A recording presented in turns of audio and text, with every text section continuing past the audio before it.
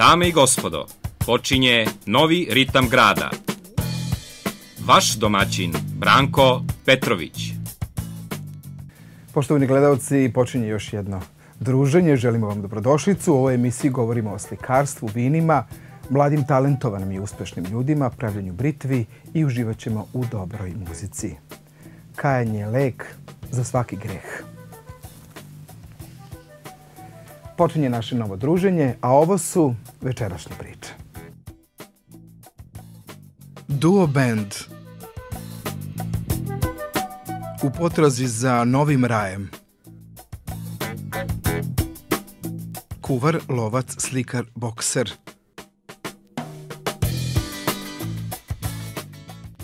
Porodična vinarija.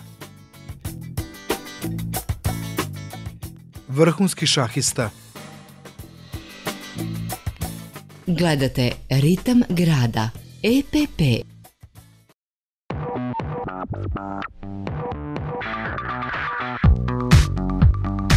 Najsavremenija dijagnostika, terapija i praćanje vida i oboljenja oka.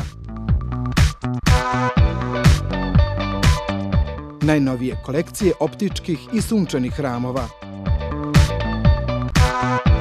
Brza i kvalitetna ugradnja i povoljne cene. Uz kontrolne preglede. Proširite vaše vidike. Dr. Nada Inđić, vrhunski stručnjak oftalmologije. Salon lepote, Mimi, svečane i modne frizure, nega kose keratinom, bi babulous, Steam Pot, brazilsko ispravljanje kose, zaštita kose Olaplexom, novo, hit u svetu, Split Ender, uklanjanje ispucalih krajeva kose, profesionalna šminka, nadogradnja noktiju, potamnjivanje tela, airbrushom, nadogradnja svilenih trepavica, japansko isrtavanje obrva, trajna šminka, usana i kapaka, salon lepote, Mimi. Mimi. Gledajte emisiju u ritmu Pazove, ja sam Boro Drljača, veliki pozdrav, živeli. Poštovani gledalci, mi smo kao i obično dobro raspoloženi. U kadru vidite i gosta, Miroslav Tomazović, Duo Band. Dobro mi došao. Bolje vas našao.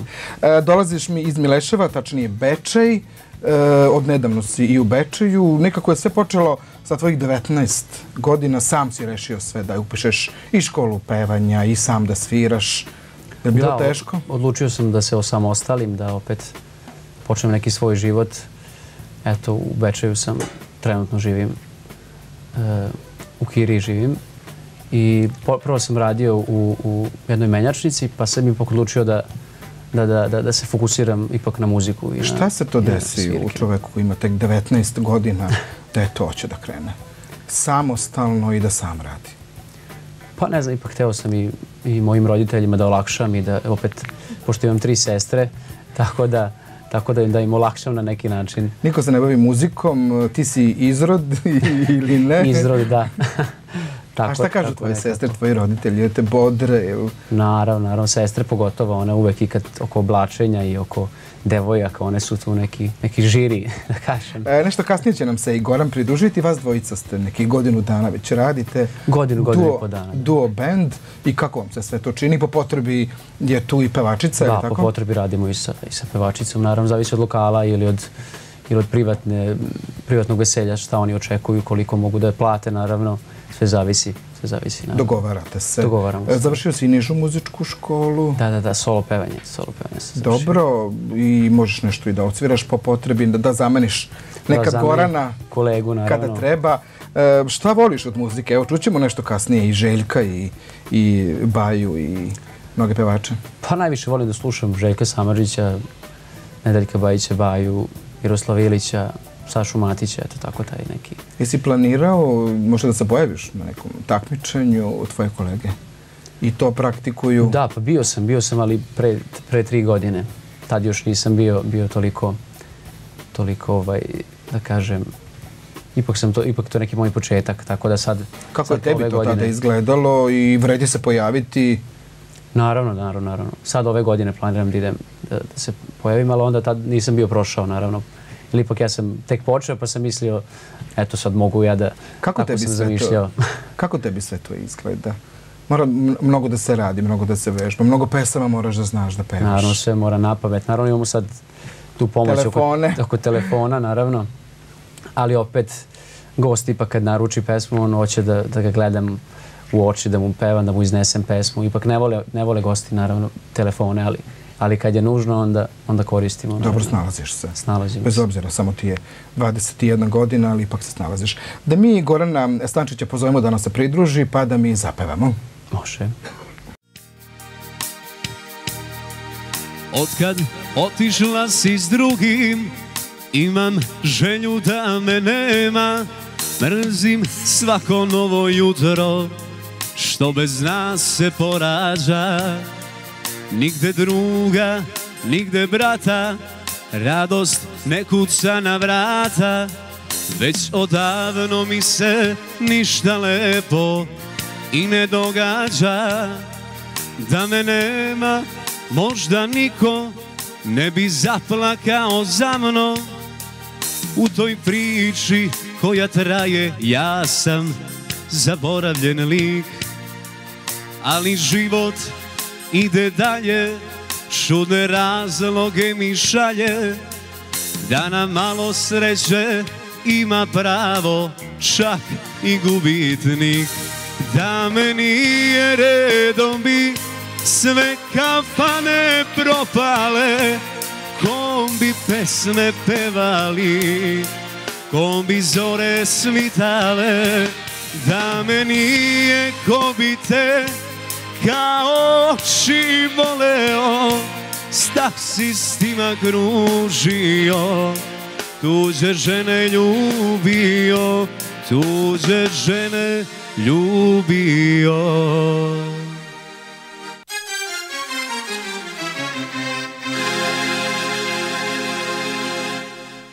Pamtim reči oca svog Budi čovek sine.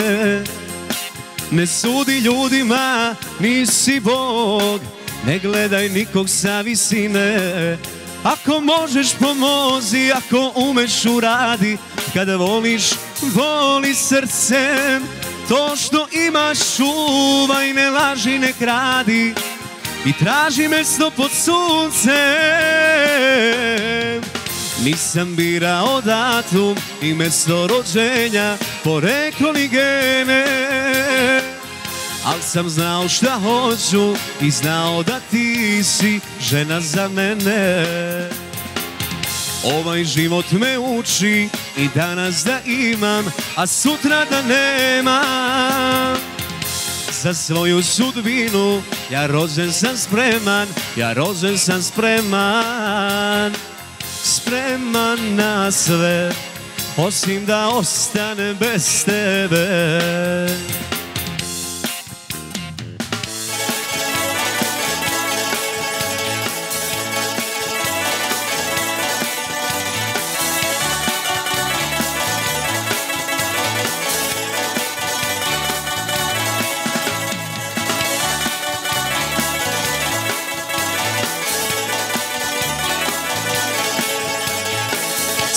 Tebe verujem Bogom i zemljom hode Jer takvog anđela bogovi samo rode.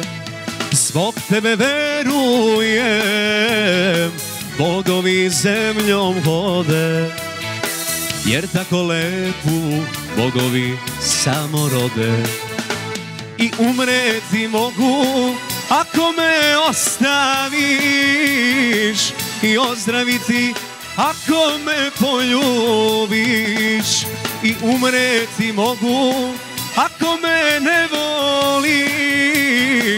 i ozdraviti ako me poljubiš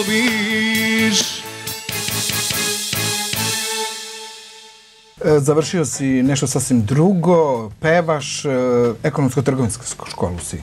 Da, Završio, da, da, nisi da. krenuo tim putem. Nisam, nisam, nisam. Ovaj, nekako, nekako sam vidio da ipak to nije za mene. Ipak je muzika to čim želim da se bavim. I pomalo i komponujem, tako da sam baš i snimam i tako da, da, da sam se u muziku baš Mnoge usredio. tvoje kolege dolaze kod tebe da, Naravno, da, da, da. snime, da ih čuješ. Jel razmenjujete neka iskustva? Jel ti kažu kolege, malo si tamo falširao, malo si možda bolje trebao da opevaš. Kako uopšte prihvataš te dobronamerne kritike? A, Ako uvek- su dobronamerne. Uvek ja čak i njih sam pitam kako zvuči ovo, kako te bi trebalo. Uvek prihvatam, nisam jedan od onih, da kažem, e, nabeđenih pevača koji misle to je to, ja sam najbolji. Ne, ne, ne, uvek znam da uvek ima boljeg bolji, naravno. Ja smatraš da treba još da učiš, da vežbaš, da radiš, Naravno, da stalno moraš da da. radiš na sebi. A svakodnevno, svakodnevno ja vežbam i skidam nove pesme i tako. E, Šta nas čeka u narednom periodu? Pretpostavljam da su to neke, neka zatvorena slavlja ti i tvoj drugar e, Goran. Da, da, na primjer, eto sad, sad za vikend smo bili u Novom Sadu, privatno. I tako, uglavnom su, uglavnom privatno, ali, ali i tu su naravno i kafići, kafane, veselja, razna. Na ovim terenima niste bili. Na ovim nismo, nismo. Sad, kad vam krenu pozivi, Da. ima da budete svuda u naokolo. Da, eto, mogu da nas kontaktiraju na broj 065 57 55 197. I da podsjete Facebook stranicu Facebook Duo stranicu, Band. naravno, Duo Band. Miroslav, hvala lepo što si bio moj gost. Pozdrav i Gorana, želim ti sve najbolje Hvala. i nadam se toj pesmi. Doduše, dosta davno si snimio svoju pesmu, pa možda nešto iskomponuješ, pa... Da, u skorije vreme Pa će će to biti nešto brzo, lagano, si o tome razmišljao, neki narodnjak ili malo nešto brže. Brza, brza rumba će biti ipak. Hvala lepo i sve najbolje. Ja sam Violeta Babić, urednik, lektor i pisac Kreativnog centra. Gledajte emisiju U ritmu pazove. Poštovani gledalci, nastavljamo dalje. E, Đakov Damijan, moj vaš gost, slikar iz Beograda. Dobro mi došli. Hvala, bolje vas našao. Dobro, vi ste svetski slikar, vas svuda ima, vi ste u Beogradu, u Italiji. Nekako vam je ta Italija za srce prerasla. A zašto baš Italija? Pa ne znam, kad sam bio mlad po završetku akademije, to je bio spontano nekako izbor, jedan želao sam uvijek da vidim. Otišao sam prvo ovako kao turistički, video sam da to nije nemoguće, da to nije toliko daleko i da nije nepristupačno. I onda sam ovaj, na kraju odlučio da ostanem. Taj boravak se pretvorio u nekih skoro 30 godina života i A rada. kako prihvate stranca kada dođe? Vi ste bili stranac tada. Da. E, možda je to bilo sretan izbor. Malo ljudi se opredeljivalo za Italiju. Kažem, nisam imao tako neku tešku priču kao što su imali naši slikari u Parizu. Možda zato što je Pariz uvek bio napadnut previše sa slikarima iz celog sveta. Italija je bila zemlja koja se tek otkrivala, čija ekonomija tek krenula u porast, tek su ovaj, krenule, mislim, ozbiljnije izložbe međunarodne i moguće da je zbog toga Italija koja je vrlo ipak teška zemlja za umetnike. Zašto su svi umetnici u Italiji? U Italiji svi pevaju, svi slikaju, svi su dizajneri i tako dalje, svi se razumeju. Tako da sa te strane nije laka, ali opet e, nije bilo puno ljudi koji su se kao ja opredelili da e, nešto probaju da urade na tom tržištu. A možda i zbog vašeg imena i prezimena, kako su vas u mladosti prekrstili kao pravog italijana. Pa dobro, slučajno to postoji, naravno ne, niko nije to obraćao, ime i prezime, o, drugčije to zvuči u svakom jeziku, Rusi misle odmah, evo ga Čehov, Bulgakov, tako dalje, jevreji opet misle Jakob, Đakob i tako dalje, Bugari opet, na ov, e, ima neki internacionalni zvuk, a ko poznaje istorija imena i prezimena, zna da je to vojvođansko i tako dalje i da su koreni od toga. Džak kao student bogoslovije, o, znači oni su bili džakovi, o, neko nam je bio u prošlosti student bogoslovije, pa je tako nastalo to prezime. E, trenutno izlažete, trenutno su vaše slike u Somboru. Ne, to je jedna likovna kolonija, Kolonija. redko učestvujem u tim kolonijama, ali evo sad zbog vas još jednog razgovora na televiziji kasnim na tu koloniju zato što sam, mnogo ranije smo se dogovorili, pa eto, prostit će me zakašnjenje od par dana, ali na kraju kolonije će biti neka izložba i učesnici su ipak vrlo kvalitetni slikari, ne samo iz Srbije, nego iz regiona. E, ovaj, rekli smo da ste iz Beograda, ali ste bili i u Njorku, i u Dizedolfu, i u Modeni, u Veneciji e, u- i mnogim drugim evropskim metropolama. Da, u nekim od tih gradova sam izlagao, a nisam bio, recimo. Aha, Ali nema izlagali. veze, naravno, to je nebitno. Da. I Čisto igra e, slučaj, neki put slike, naravno, cirkulišu, ne vidim ja uvek.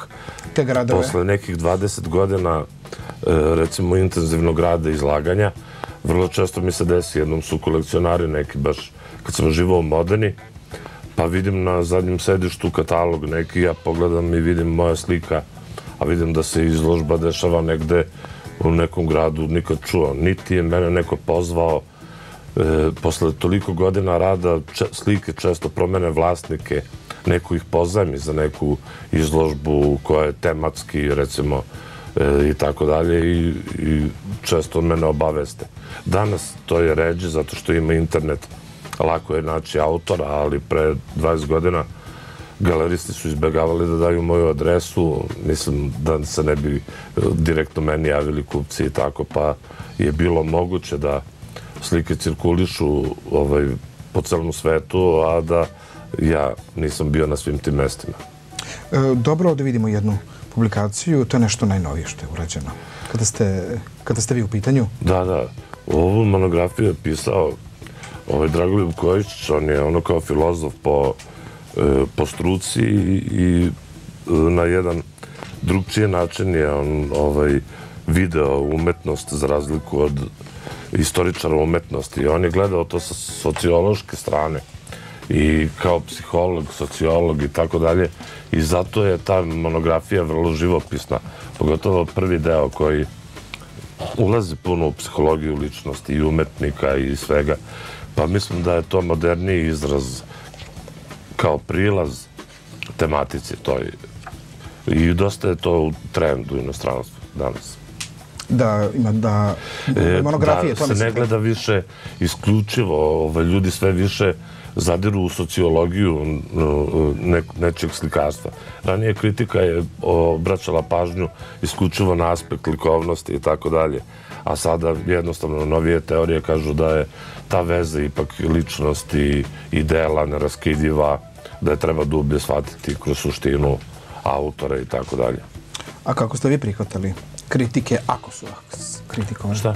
Kako ste vi prihvatali kritike? Pa nisam imao ovaj od oficijalne kritike nisam imao ovaj loše kritike nikada. Možda neki put privatno ovako danas postoje te socijalne mreže. Pa eto tu i tamo je bilo po neki ali ko, ko nije iz tog posla. Neko me zasmeta, ne znam, moja pojava, ne, neka moja slika, izvede neki pogrešan zaključak i svega toga, ali ne, nisam imao ovaj, rađe ljudi to se ne izjasne nego da se izjasne loše. Zašto? Neosporno je da je to složena materija, ima više aspekata, na više nivoa, ima taj ekstremno popularistički, atraktivne su mi boje, teme, izgleda to vrlo prijemčivo svima, ali struktura same slike i poruke su mnogo dublje. I onda vidi se da je to složena materija.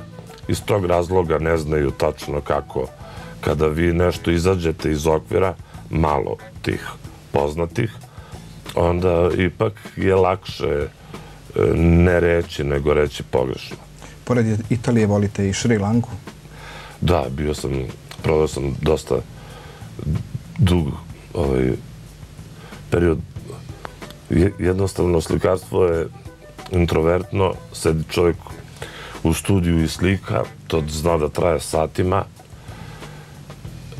čuti i ako se to produži na 5, 10, da ne kažem, da ne nabrojim sve te godine, ovaj čovjek eh, može da uđe u neku vrstu izolacije. Mislim da je jednostavno taj svet oko njega se sve više sužava i zatvara u tu neku misalnu konstrukciju koju je nasledio. I obično slikari ovaj, znaju da kada dođu u neke godine, kada to teret tog usamljeničkog krene da stvarno da osete taj teret i obično imaju potrebu da odu u neke u sredine kao što je Indija e, malo da se vrate toj duhovnosti, malo da pronađu suštinu, da se očiste od tog dominacije, jer zapadna civilizacija traži rezultate stalno nema baš odmora da se e, reflektuje, da se čovjek promeni, da uloži u nešto neizvesno, nego treba svakodnevno imati rezultate. A to obnavljanje je važno. Koje vam je sljedeća destinacija? Ja ne znam, izgleda da bi sad opet volao na drugi način da se malo u Italiju, bar ove zimske mesece, ovaj, da, da, da počnem da uh, opet više radim u Italiji. Sad bi to drugčije izgledalo potpuno. E, hvala lepo što ste bili moj gost. Ja sam uživao, nadam se gledalci, prijatelji naši emisije vas pozdravljaju. E, jeste nešto ostavili kod kuće, jeste, jel da slikate? Jeste slikali? E, slikom, da, slikom, ali spremam velike radove neke, ovaj, pa e, zato što spremam ipak promociju ove knjige koja već dugo je kako je objavljena, ali je nikako da dođe do nje. A uz to, uz promociju sam teo da imam neke velike, veće formate i tako, da napravim interesantnu izložbu. Hvala tako, što ste pozvat ću vas kada bude... Hoćemo, doći ćemo da propratimo. Hvala lepo. Drago mi je. Prijetno. Pažnja, dragi gledalci, gledate emisiju U ritmu pazove. Ne menjajte kanal, ostavi daljinski upravljač. Moje ime je Srđan Jovanović, ja sam stand-up komičar. Gledate emisiju U ritmu pazove. Poštovani gledalci, nastavljamo dalje. Malo ćemo o hobiju, o interesantnoj temi, barem meni, nadam se i vama. E, Milorad Platiša Bata iz Indije, moj vaš gost. Dobro mi došli. Bolje znaš. E, imate interesantan hobi, ali hobi je prešao i u, i u posao. Pa, Ajde, tako može se kaže, ovaj, na ovim prostorima britva je nešto što svaki čovjek nosio sa sobom i, ovaj, i jednostavno korisna jedna mala alatka koja kad zatreba jedino ona može da uradite neke stvari. S mobilnim telefonom malo teže možda nešto isečeš ili da rešiš neku razmiricu Jel u mi kafani. ovo smemo da nosimo... Da, da. Pa da. za ove, ovo, vrstu, ovo vrstu hladnog oružja još ne postoje oruženi list, tako da nema neke... Ako nas pitaju, znači sečemo šunku, slaninu... Za... Da. Pa, mislim, kad ručate, koristite nož. No, Sad što je on kineski, pa je nisko budžetni, a ista je, ista je ovaj svrha. Dobro. Ima li posla? Pa ima, da, da bi moj pokojni tada govorio, za budalu uvijek ima posla, ali ima, da. E, recimo ja hoću ovaj uzorak ili tako hoću ovakva da mi da, bude, to je sad, boja? Da, pitanje je šta, šta ko voli i da. jednostavno... Uh, Može da izabere? Da, da, to je na primjer, boju, to je ovaj fosilni hrast, uh, ovo je na primjer ebonos, to je neko afričko drvo ili purpurno srce, da, to je prirodna boja drveca. To, to, to iz Afrike je tako specifično ovaj, uh, drveće, em što je tvrdo, em što je ovaj, Ovo je sa neki možda nešto. To je, to je kalemarska britica. Radim svašta, sad ovdje mhm. -huh. malo sam doneo, zato što nemam toga na lageru, uvijek to ljudi odnesu. To je britica za kalemije voća, stara tradicionalna alatka bez koje nema ni dan danas voćarstva ovaj, sa tim se kalemi uh, drveći. Znači mi u stvari možemo da biramo šta ćemo, koji ćemo mustru, da, da, da, da, sve. Ja radim i noževe, ali sad sam doneo britve, čisto da vidite, jer to je zanimljivo, brice u džepu. Mislim, nož se noši namenski u lovu i to je za pojasom sad, nema što vi sedite u kolima, nosite nožinu. A briticu uvijek možete, ona odradi 90% posla i tako da... Dobro, ovdje vidimo, to je pripreme, ali tako pa, to... Ovo su, da, neka sečeva koja su pre, prošla kovanje, neku termičku obradu i evo vidite kako to otprilike izgleda ovako, to kad, sad, kad neko pogleda, to je kao neke limovi bez veze, a to kasnije bude, znači, pređe u neki nož ili sad već ko kakav mehanizam želi, ali neko sečivo da kad mu se udahne duša, eto. E, samo muškarci poručuju, je li imate, je li žene ima, vole, ima, pa ima, ima, dame da, vole? Da, dame vole sa ovakvim bojama, ali nož treba svima, da. Jako je korisna alatka. Je li one se kuhlebi ili ga nose u tašni, pa to sad ne znam, pa, za, zašto im treba baš? Da, možda im treba iz neke kućne razmirice s mužem kad zaspe. Daleko bilo. Da, da. E, e, volite i da lovite, volite i da slikate, pa to je, svašta da, pomalo. Da, da. Malena, ovaj, deda je bio osnivač loškog društva u Inđi, jedan od osnivača. I, ovaj, I tako da sam išao kao klinac ovaj, u lov i volim, to je neko onako pasija i to je i druženje i, i pa onda malo dobra vrsta sporta. I da. glineni ovde u Pazovi. Ja, tu sam pucao za Pazovi jedno 7 godina, bio sam onako baš, baš uspešan i, ovaj, i to je onako lep sport bio, baš, baš onako tu sam se pronašao. Međutim, nisam mogao zbog nekog mog posla, držao sam neku pizzeriju 15 godina i onda ovaj, ne, nisam imao vremena. Jer dosta se putovalo i dosta je, dosta je bilo takmičenja, veliki program bio u toku godine. To nisam mogu sve ispoštujem jer pucao se i subote, nedelja nekad i 3-4 dana i onda nisam mogao toliko da odvojim. Malo tu bilo i boksa. Boks sam trenirao, da, trenirao sam karate 8 godina, posle toga boks, evo ćemo neku povredu i onda... Dobro, bilo je to i zapaženo. Bio sam vice šampion Jugoslavije u boksu. Da, da, bio sam. 96. godine. Sad kad vas vide sa, sa britvom ili bez britve... Pa dobro, ovaj, sad sam malo, vidiš, imao sam neku onako i se obraćaju, pa sam malo i ugojio, bio sam ranije onako u kondiciji, ali sad mi znaju po brici, po dobrom kulenu, šunke i to, drugari, idem tako svuda u lovi, ne možeš ti kad prestaneš da treniraš, a apetit ne opadne, a uvijek neko druženje, eto čovjek. Koliko treba vremena da se e, po poručbini kažu Pa- da mi se to napravi i koliko otprilike to Pa, vremena? na primjer, sad, ovo je britva s nekom leđnom oprugom, klasična britva, koja, ovaj, koja nije toliko komplikovana i za nju je potrebno možda jedno dva dana, ajde kad uzmemo proces termičke obrade, kovanja, ovo, ono i posle toga same obrade, dva, tri dana. E, već ove britve koje imaju, uh, svi ljudi znaju one Victorinos brice, koje imaju ovaj liner lock, znači da zakoči i uopšte bilo kakav mehanizam sa kočicom, tu treba malo više tog pasovanja da bi ona radila kako treba, znači da ne bi klimala, da bi bila urađena kako treba. Ja koristim vrhunske čelike, znači što švedske, što austrijske, znači koristimo koristim ono ili neke tu limove. Ima moj kolega što kaže od giblja može sve da se napravi, ja to ne radim. Znači radim namenska prehrambena sečiva koja ovaj, ne rđaju i tu bricu možete i prati ono i sve, čak i opruge, sve ne. Tako da je... traje. Da, da, da. E, imam, imam par nekih iskustava sa ljudima koji nisam ni pretpostavljao da, da će to da urade, peru britve u mašinama za sudove. Što nije jednostavno prirodno stanje britve, ovo je drvo, nije plastika. I, ovaj, ali prolaze i taj test, ovaj, jer ja to impregniram i kvalitetno je to drvo. Tako da nije to sad neka gajbica pa će se raspadne. Tako da britve mogu da se peru. Jednostavno kad ja radim i futrole, nisam doneo zato što jednostavno to, to, to ovaj, non stop ljudi uzimaju. Britvu kad držite u džepu uvijek tu upadne nekih dlačica ovog onoga. Bolje u futroli. bolje futrola, ali i kad ne, uvijek možete da operete. Jednostavno, to je alatka koja se koristi, pre su ljudi koristili to svaki dan za svaki doručak i ono je sad ovako mi koji to volimo i zgodno je to u lovu. Kako možemo? Moramo do Dunavske u Inđiji. Da, Dunavsko Putem 18 tu je, da, može putem Facebooka da platiše Milorad Bata i zna dosta ljudi to ko. Ja ne, ne, mislim jedini radim ovako nešto ovdje kod nas, tako da kad doćete dobru britvu, ovaj, Je bilo nekih e, želja da ste rekli pa to baš ne može tako, može ovako. Nije, nije. Se dogovarate? nije, Kako nije, ide nije. taj, taj dogovor? Ne, ne, jako lako. Ovaj, ljudi, najbolje kad prepuste meni, onda imaju nešto u glavi, onda prepuste meni da ja to osmislim. Ali, uglavnom, mogu da napravim nešto sve. mnogo veće, ne samo Prave, da, da. Pa radio sam sad za, za, za, za, za, ovaj, za Beograd sam radio za neke e, šefove restorana, ovaj, neke kuhinjske, onako, one chief master noževe velike, ozbiljne, ozbiljne noževe. Ovaj, tako da radim sve. Sekire, vikinške, ono, radim svašta. Ima na Facebooku dosta toga.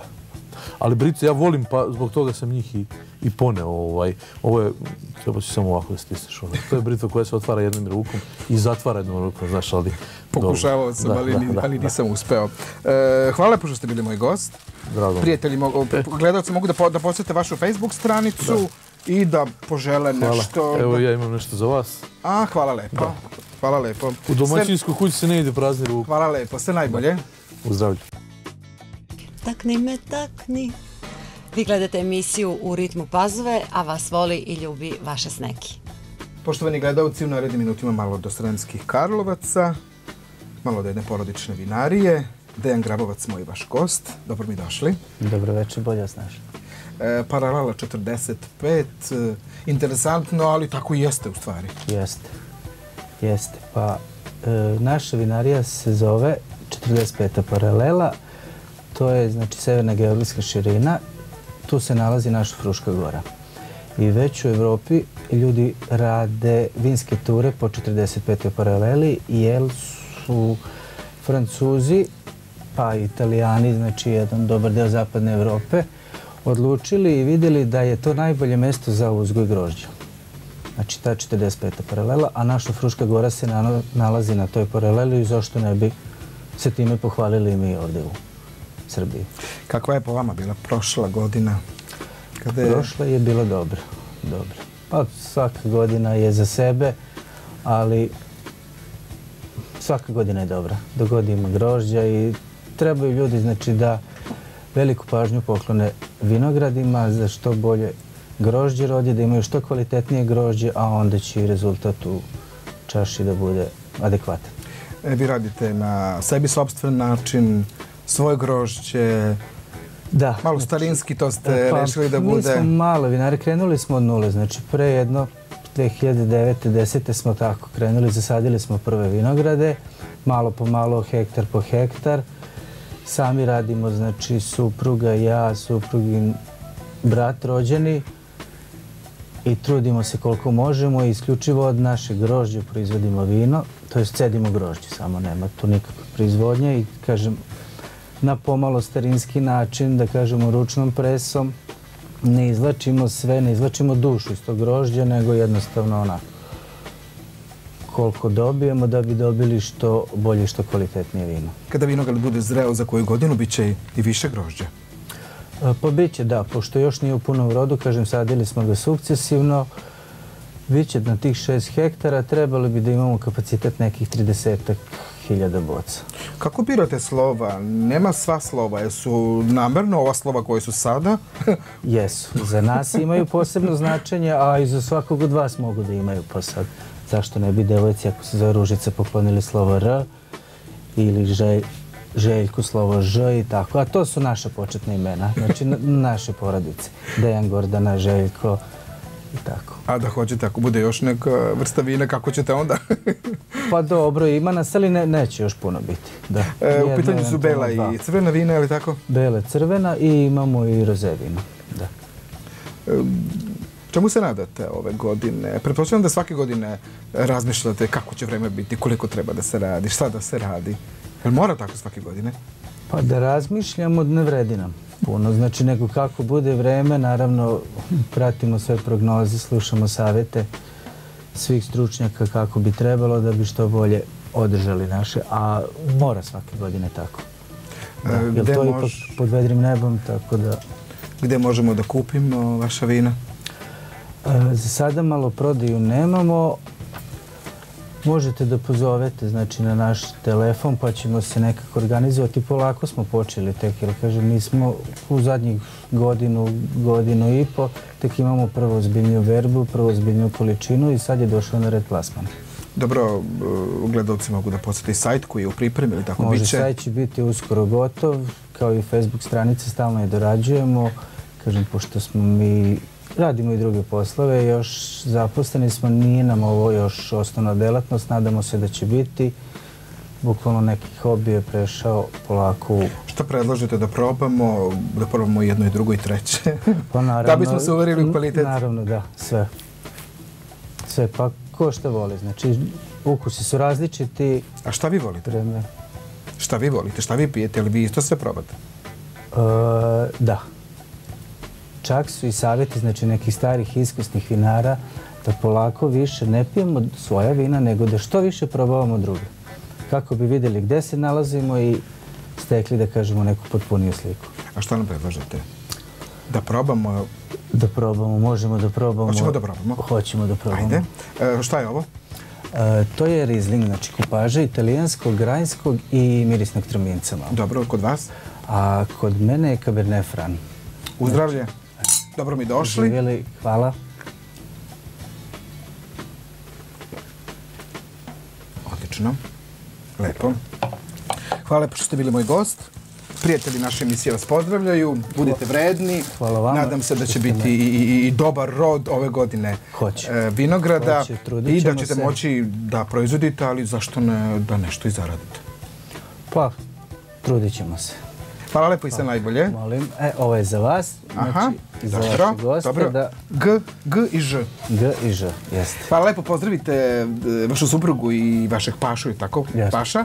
I budite vredni i dođite mi opet. Hoćemo, naravno. Hvala vam što ste nas pozvali. U ritmu pazove ovoga dana ja ću biti domaćin, a moj gost, dobro poznati, voditelj iste emisije do skora, Petrović. Ovaj čovek ovdje je započeo karijeru zajedno s ovim čovekom ovdje i sad kad vidite njegove skromne kile, on vežba na biciklu i vozi bicikl po pazovi. Pozdravlja vas vaša Suzana Mančić, a ovo je vaša omiljena emisija u ritmu pazove. Danas je sa nama u gostima jedan veoma interesantan, mlad čovek, a, talentovan, odličan voditelj, moj kolega Branko. Kako možeš da me prekineš? A ti si fantastičan voditelj, sad ću da ti kažem, svaka ti čast, ti si me pustio da govorim, ja moje gostove emisije ne puštam i onda mi se dogodi da mi kažu, izvinite, mogu nešto da kažem.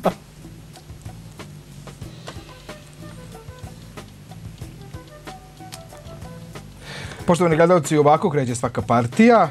Miloš Stanković, e, moj vaš gost. Dobro mi došao, će nam stati sat ili neće? Da, sat. Stao je. Jesi dobro? Jesam. Koliko treba da treniramo, koliko treba da radimo da bismo bili uspešni kao ti? Pa jako dosta i to ne može za kratak period, mora i neki niz godina. E, kao ti od pete godine. Pa nisam baš od pet, od prvog razreda, ali naučio sam da igram šah od pete. E, baka je tu malo prste Da. svoje umešala i tebi i sestri. Iz dosade, kad nam je bilo dosadno, pa je baka pokazala šah i onda se nama svidjelo.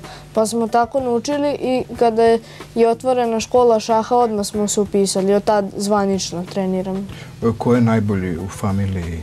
Ti, sestra, mama ili tata? Jel Se vi Pa tamo- tata je bio, do, mislim, najbolji, ali sad smo ja i on približno. I sestra? Pa ona je malo lošija, ali tu je negdje. Šta bi rekla sad kad bi te čula? Pa rekla bi da sam u pravu. Dobro, pitat ćemo je. E, učenik si sedmog razreda. Da. Odličan si učenik, igraš i futbal, kako sve Pa, stižeš, ne znam, nekako. trudiš se. Da. E, medalju koju imaš? Pa to sam osvojio na prvenstvu Vojvodine za dečake do 14 godina. Bio sam ubedljivo prvi i bilo je jako lepo. E, to je isto I pehar. pehar Da. sa tog takmičenja. Znaš li šta si sve osvojio gde si sve bio? Pa ne znam baš, jer od kad sam počeo mnogo pehara sam osvajao i ne znam tačno sve. Nekako ovo zlato ti je. Da, mnogo mi je Najdraže. važno. Da. E, šta nas čeka u narednom periodu? Pa čeka nas seniorsko opštinsko prvenstvo, onda državno prvenstvo i ako se plasiram možda evropsko i svetsko i vidovdanski turnir. Kako se pripremaš? Koliko treba da se pripremaš? Kako si u tom trenutku staložen, skoncentrisan? Pa zavisi od protivnika do protivnika i zavisi od raspoloženja. Da li imam neku tremu ili sam baš srećan i želim da idem na partiju da dam svu snagu. Dobro, po običaju želiš svu Da. snagu da daš. A šta stvarno zapisuje sa strane? Nešto tvoje kolege Pa i je- zapisujete? Šta zapisujete? To je notacija jer sad u modern, mislim, kada već neki šahista viši nivo, on mora da zapisuje zbog nekih uh, predrasuda, jer, na primjer, kada se pređe 40. potez, to se zapisuje da bi se znalo. Oba igrača zapisuju, dobija se određen dobitak vremena, ali zavisi i sve od turnira do turnira, kako se odredi. E, šah klub e, Panovci Dunav ove godine će proslaviti 20. rođendan. Da. Ja vam čestitam. Jel se pripremate? Kako se pripremate? Pa ne znam, to... To ćemo oca da pitamo. Pa ne znam, da. To ćemo njega da pitamo kako i šta, a pretpostavljam da će biti e, proslavljeno i da ćete obeležiti tih e, 20 godina postojanja. A šta kažu tvoji drugari? Lepe rezultate postižeš. Pa kaže, ali malo mi je dosadilo da stalno donosim pehare. Dobro, ali je lepo što si tako uspešan i što voliš. E, šah, e, imate pomoć i opštine i mesne zajednice kada treba? Pa ali zavisi, mada na ovako turnire što idemo uglavnom, mislim, klub malo manje, ali mora porodica, kako da kažem, da uloži. E, je li ima nekad nešto da te iznervira, jer se to vidi na tebi, moraš da si skoncentrisan i Da. staložen. Pa i kada se naljutim u partiji, ako nešto pogrešim, moram da ostanem miran i da, kako kažem, to pretrpim. E, Ko je bolji, ti ili sestra kada igrate? Ili ti Ja tata, ili ti bolji. mama? Pa u posljednje vrijeme sve ih pobeđujem. Sve ih pobeđuješ? Da. Kako oni reaguju kada gube? Ne volimo da gubimo, volimo da Pa pobeđujemo. traži još jednu, pa tako u nedogled. I uvek ih pobeđuješ. Pa nekad se omaši, ali uglavnom. A kako reaguješ kada, kada nekad, jesi nekada izgubio? Da. Kako reaguješ? Pa ništa, idem dalje. Dobro, više toga si pobeđivao nego što Da. si izgubio. E, šta savjetujemo e, mladim ljudima koji bi recimo želeli da igraju šah, pa razmišljaju da li je to teško, da li nije? Pa reći? trebaju biti mnogo uporni i ako ne stignu odmah rezultati, da ne odustaju ako treniraju, na primjer, godinu dana. Ne može bukvalno preko noći da se postane neki veliki šahista. I da budu, da budu uporni i nadaju se uspehu. Jel I neke, imaš neke idole, imaš neke ljude? Pa imam prvak sveta, Magnus Carlsen. On je moj idol. A u Srbiji? Pa to, ne- neki ima, šahista pa ima je- dosta šahista, ali nisu mi baš neki idoli. Vidim i sa Indžićem si se sastao i igrao. Jeste baš igrali ko je pobedio? Znali on je se? pobedio, On je pobedio. naravno. E, hvala lepo što si bio moj gost.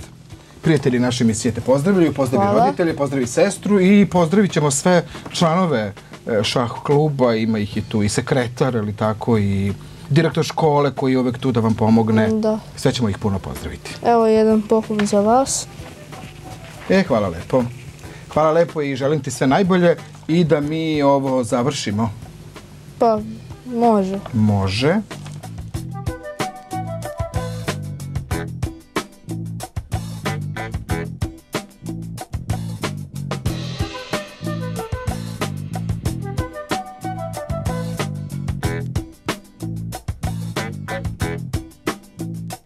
Gledate Ritam grada. EPP.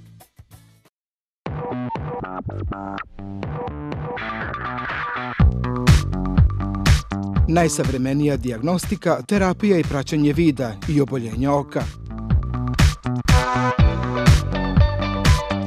Najnovije kolekcije optičkih i sunčanih ramova. Brza i kvalitetna ugradnja i povoljne cene. Uz kontrolne preglede. Proširite vaše vidike. Dr. Nada Indžić, vrhunski stručnjak oftalmologije. Salon lepote Mimi Novo Mezoterapija kose Mezoterapija lica Dijamantska dermoabrazija Hollywoodski sjaj Mezoterapija tela Redukcija celulita i lokalizovanih masnih naslaga Čirila i Metodija 26 i Čirila i Metodija 15 Lokal broj 2 310 052 063 82 11 594 Salon lepote Mimi. Hvala što ste ovoga četvrtka bili sa nama. Gledamo se sljedećeg, 2. februara u 18 časova. Pričat ćemo o interesantnim temama i upoznati zanimljive goste. Hvala vam na primjedbama i sugestijama koje nam upućujete putem društvenih mreža. Svi imaju dobre misli, ideje i namere, ali ih redko sprovode u delo. Do gledanja za sedam dana, uzdravlje i svako dobro. Bio je ovo još jedan ritam grada. Ostanite uz program radio televizije Stara Pazova.